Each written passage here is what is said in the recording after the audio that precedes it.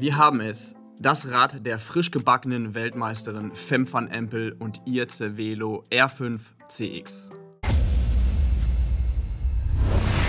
Die Cross-Saison 2022 und 2023 hätte nicht besser für die junge Niederländerin verlaufen können, denn neben dem Europameistertitel der Gesamtwertung im Weltcup konnte sie sich jetzt noch am Samstag in Hogerheide das Weltmeistertrikot der Frauen sichern.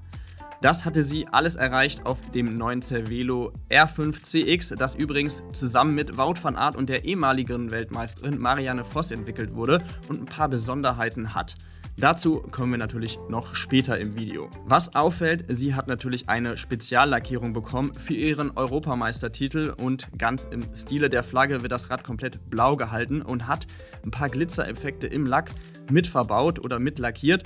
Und ich finde, das sieht richtig, richtig gut aus. Gefällt mir sehr gut. Dazu gibt es eine weiße Gabel, die natürlich speziell von Cervelo für das Rad gefertigt wurde, wo wir noch Akzente mit blauen Streifen und dem goldenen Stern der Europaflagge wiederfinden. Was wir auch an dem Rad wiederfinden, ist eine komplette Schaltgruppe von dem amerikanischen Schaltungshersteller SRAM und für eine Spitzenfahrerin wie Van Empel wird natürlich die SRAM Red Gruppe verbaut. Das sieht man zwar auf dem ersten Blick an den Hebeln nicht, denn dort steht normalerweise SRAM Red, denn die Profis, die bekommen immer eine etwas andere Ausführung. Dazu gehört ebenfalls, dass bei SRAM im Cross immer mit einem Einfachkettenblatt gefahren wird. Das wurde von SRAM speziell entwickelt und die Zähne sind so angeordnet, dass die Kette in keinem Fall runterfallen kann. Falls sie es doch tun sollte, dann haben die Mechaniker von Jumbo Visma eine Wolf Tooth Kettenführung aus Titan montiert, dass die Kette immer im Gang bleibt. Das Kettenblatt, das ist übrigens nur 40 Zähne groß und hat auch keinen Powermeter verbaut. Die Kurbel selbst ist 172,5 mm lang und die Abstufen der Kassette, die beträgt 10 bis 33 und kommt von SRAM Red.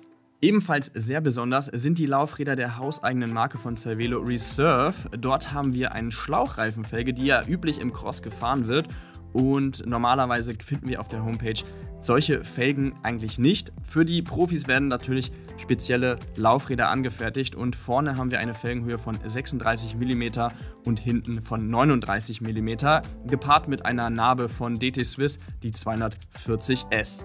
Aufgeklebt auf den speziellen Schlauchreifenfelgen finden wir Reifen von Dugast und für das Rennen in Benidorm, das ja ziemlich schnell war, entschied sich Fem van Empel für den Typhon in 33 mm, der ja so der Allround-Reifen für die schnellen Rennen und Crossrennen im Sand sehr gut geeignet ist. Die Firma Dugast wurde übrigens von Vitoria aufgekauft oder eingegliedert und die sind ja Sponsor beim Team Jumbo Visma. Das letzte Detail der Laufräder sind noch die Bremsscheiben und die kommen natürlich ebenfalls von SRAM Red und sind vorne wie hinten 140 mm groß im Durchmesser. Wir machen jetzt aber weiter mit dem Lenkbereich an dem Cervelo von Femfa und Ampel und dort setzt sie auf eine voll integrierte Lösung von FSA. Der Vorbau, der ist aus Aluminium, nennt sich FSA ACR. Das steht für Aerodynamic Cable Routing und ist 100 mm lang. Also die Kabel verschwinden komplett im Vorbau und gehen dann durch das Steuerrohr in den Rahmen. Und der Lenker, der ist aber aus Carbon gefertigt, der FSA K-Force Kompakt-Version aus Carbon, 40 cm breit und super leicht. Der Sattel, der kommt vom Sponsor Physik Antares R1 Braided vs. Evo, nennt er sich, und der ist besonders leicht, wie das Rad am Ende auch zeigen wird. Die Sattelstütze, die kommt ebenfalls von Cervelo, nennt sich SP24 aus Carbon hat zwei Sattelklemmen und eine D-Form, was mehrere Vorteile hat, denn Marianne Voss und Wout van Aert hatten einige Wünsche, denn die D-Form, die sorgt dafür, dass das Rad ein bisschen komfortabler wird, weil die Sattelstütze mehr Flex hat und im Fall eines Sturzes, dann kann die D-Form sich nicht verdrehen, im Gegensatz zu einer runden Sattelstütze und die zwei Sitz- oder Sattelstützenklemmen, die sorgen auch dafür, dass man das Rad problemlos mit im Flugzeug transportieren kann und nicht immer wieder die Höhe des Sattels neu einstellen muss. Wie üblich im Radcross wird das Rad auch mal geschultert, beziehungsweise die Rennen sind nicht länger als eine Stunde lang, deswegen wird auf einen Flaschenhalter bei Fanfarm Ampel verzichtet, genau wie auf einen Radcomputer, den finden wir nicht, denn Fanfarm Ampel, die fährt im Radcross immer eine Wahoo Rival Pulsuhr. Zu guter Letzt haben wir an dem Fahrrad noch das letzte Detail und zwar die Pedale. Die kommen natürlich aus dem Mountainbiker-Bereich und sind vom Konkurrenten Shimano, die Shimano XDR, sind überwiegend bei den Cross-Fahrrädern zu finden.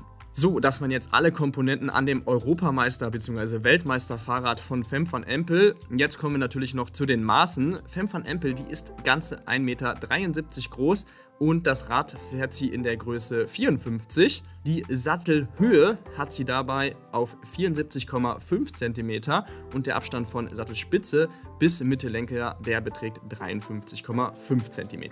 Mein lieber Kollege Loic aus Frankreich hat das Rad natürlich auch noch gewogen und nur ganze 6,96 Kilogramm wiegt das Leichtgewicht von Cervelo von Fem van Empel. Kein Wunder, dass sie damit so schnell Fahrrad fahren kann. So, das war jetzt das Rad von der Weltmeisterin Fem van Empel. Schreibt mir gerne in die Kommentare, wie ihr das Europameisterrad findet und ob ihr schon gespannt seid, wie die Weltmeister-Edition für sie aussehen wird. Dann lasst doch gerne einen Daumen nach oben da für das Video und ein Abo auf unserem Kanal, denn wir haben immer die neuesten Profiräder und neuesten Themen rund ums Thema Radsport. Vielen Dank fürs Zuschauen und bis zum nächsten Mal. Ciao, ciao.